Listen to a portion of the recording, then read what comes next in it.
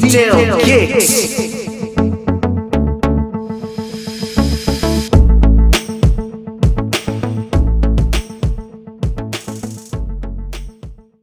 what's going on guys? This is Mike and you're watching Detailed Kicks. And today we're doing a video about the 4D midsole and the Boost midsole. So it's a comparison video between the two. Today we're taking a look at the Alpha Edge and Parley collaboration 4D and the Game of Thrones and Adidas collaboration Ultra Boost. Before we get started, please go ahead and subscribe if you haven't yet. Now taking a look at both midsoles because this is the comparison that we'll do today. And for the sake of being fair, both outsoles are continental rubber. So we won't be doing an outsole comparison or an upper comparison. We would be talking about 4D versus Boost. Now let's start with comfort. As you know, right out of the box, if you wear an Ultra Boost, comfort right away. And I was really surprised because when I wore my 4Ds, they were quite stiff when you first try them on. I was expecting a lot of compression because when you press down on the midsole on the sides, the 4D does compress, but when you wear them, not so much. And that's a real bummer because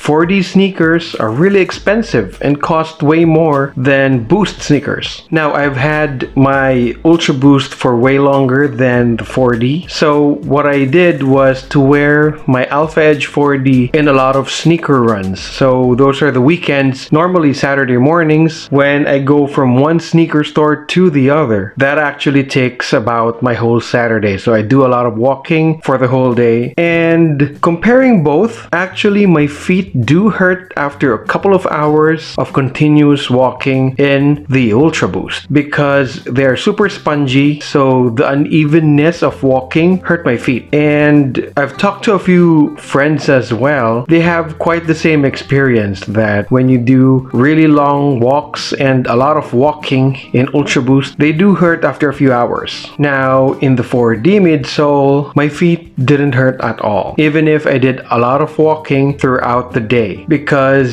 the 4D midsole is is more structured so there is no unevenness of walking and weight distribution. And I wouldn't say that the 4D midsole is uncomfortable. It's not just as comfortable as Boost. So maybe when choosing whether you would be wearing a 4D sneaker or a Boost sneaker, maybe take into account what you'll be doing that day. If you'll just be sitting in the office, then the Ultra Boost is the way to go. But if you'll be doing a lot of walking, probably stick with the 4D. Now, the 4D midsole did soften up a little after a lot of use, so it did break in, but not so much. So it's not uncomfortable, it's a little more comfortable after a lot of use, so maybe if I continue using it, it'll be more comfortable as it further breaks in. Now regarding bottoming out, my Ultra Boosts have not bottomed out yet, but I've heard a lot of people saying that theirs did already, and for the 4D midsole, I haven't heard anything yet, so let's wait and see if it will bottom out eventually. And now going to cleaning. For the Boost sneaker, you'll just need to use a soft brush and your cleaning solution, you're good to go. I did that in my 4D, so a lot of bubbles actually went inside the sneaker. It was a little more difficult to clean and I did use a vacuum cleaner because I think a lot of dust does go in. So maintenance wise, it is more difficult to clean a 4D midsole compared to a Boost midsole. Now going to the springiness of the midsole. We all know what Boost does. Very spongy, it's quite springy. Now for the 4D midsole, not a lot of sponginess and not a lot of springiness.